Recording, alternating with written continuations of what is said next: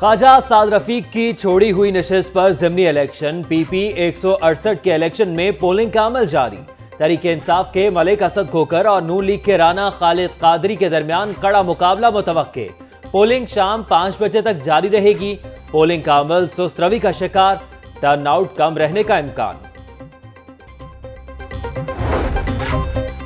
جیت کے لیے سو فیصد پر امید ہوں، الیکشن کمیشن نے پولنگ کے لیے مناسب انتظامات کیے ہیں۔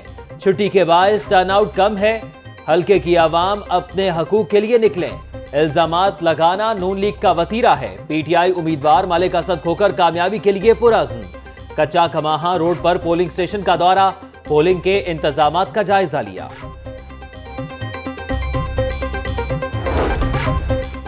حکومت اوچھے ہتھ کنڈے استعمال کر رہی ہے۔ ہمارے بیس سے پچیس پولنگ ایجنٹس کو پکڑ لیا۔ لیگی امیدوار رانا خالد قادری کا الزام۔ بولے، نون لیگ کا حلقہ ہے، ہم جیت جائیں گے۔ تحریک انصاف کی انتخابی مہم فلیکسوں تک محدود رہی۔ رانا خالد قادری نے اٹاری سروبا میں ایجوکیٹر سکول میں اپنا ووٹ کاسٹ کیا۔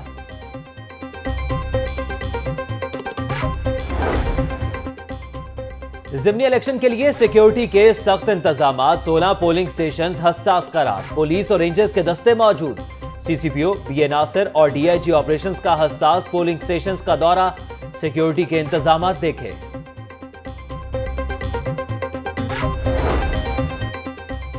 آشیانہ ہاؤسنگ سکینڈل فواد حسن فواد اور آہا چیمہ احتساب عدالت میں پیش، تفتیشی افسر کے پیش نہ ہونے پر عدالت کا اظہار برہمی۔ ملزم کا ریمانڈ حاصل کرنا ہو تو نیب کی پوری ٹیم عدالت میں پہنچی ہوتی ہے۔ بندے کو نوے روز جسمانی ریمانڈ میں رکھا۔ ریفرنس دائر کرنا ہو تو ڈھیلے بن جاتے ہیں۔ عدالت کے ریمارکس، فواد حسن فواد کا ابھی تک ریفرنس فائل کیوں نہیں کیا؟ عدالت کا استفسار۔ تفتیشی افسر، ڈائریکٹر ونگ کو شوکاز نوٹس جاری۔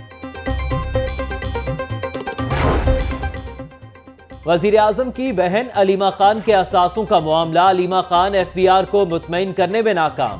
ایف بی آر نے دو کروڑ چورانوے لاکھ ٹیکس عائد کر دیا۔ گورنر ہاؤس کی دیواریں مسمار کرنے کے حکم امتناعی میں پندرہ جنوری تک توسیع، ہائی کورٹ نے وفاقی اور پنجاب حکومت کو جواب داخل کرنے کا آخری موقع دے دیا۔ اب کیس کی سماعت اگلے برس ہوگی۔ جسٹس مامون رشید کے ریمارکس گورنر ہاؤس کو ہائی کورٹ کا سیکنڈ کیمپس بنانے کے لیے دائر درخواست کی سماعت. عدالت نے وکلا کو حکومت سے ہدایت لینے کے لیے بیس دسمبر تک مہلت دی. وفاقی اور صوبائی حکومت کو نوٹس جاری.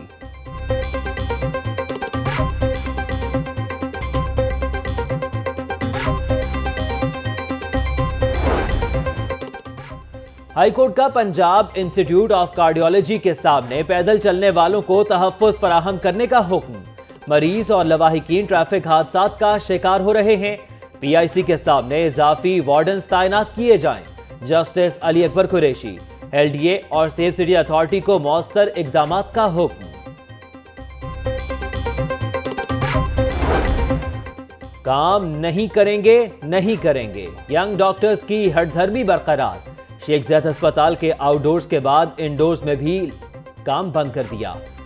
وائی ڈی اے کا ساتویں روز بھی احتجاج، مریض اور لواحقین رول گئے۔ پریشان حال مریض، مسیحاؤں کے منتظر۔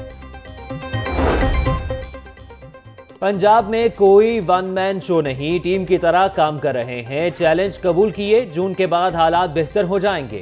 کاسمیٹکس کامیابی نہیں، دورس نتائج کے لیے سخت محنت کر رہے ہیں۔ صوبائی وزیر میاں محمود رشید کی گفتگو۔ بولے، نیا پاکستان ہاؤسنگ منصوبے کا افتتاح اگلے ماہ کریں گے۔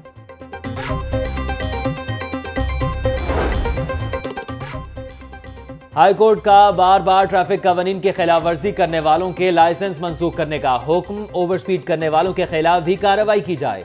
جسٹس علی اکبر قریشی کے remarks, chief executive safe city project سے عمل درآمد رپورٹ سترہ دسمبر تک طلب۔ ہائی کورٹ نے اظہر صدیق ایڈوکیٹ کی درخواست پر احکامات جاری کیے۔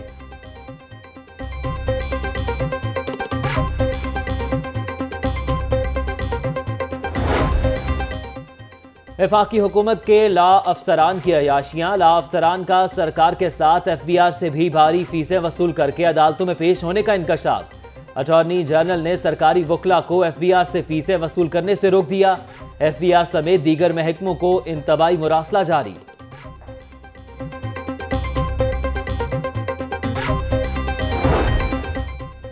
پولیس افسران اور اہلکاروں کے لیے معیاری اور سستے کھانے کی سہولت قربان لائن میں آفیسرز میس تیار۔ آئی جی امجد جاوید سلیبی نے افتتاح کیا۔ ایڈیشنل آئی جی ابو بکر خدا بخش سمیت پولیس افسران بھی موجود۔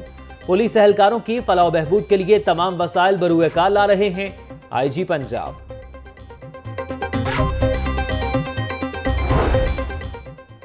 ضلعی عدلیہ کی تعمیرات کے معاملات ڈپٹی رجسٹرار ہائی کورٹ کے سپرد۔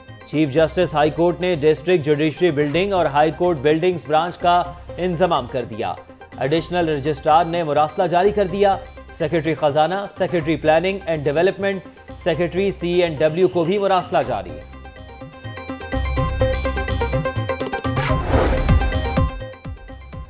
Police, chief justice high court Muhammad Anwar ul Haq کے اعزاز میں فل کورٹ ریفرنس اکیس دسمبر کو ہوگا۔ نامزد چیف جسٹس سردار محمد شمین خان سمیت تمام ججز شرکت کریں گے۔ سپریم کورٹ بار پاکستان اور پنجاب بار کونسل سمیت ہائی کورٹ بار اور لاہور بار کے عہدیداروں کی شرکت بھی متوقع۔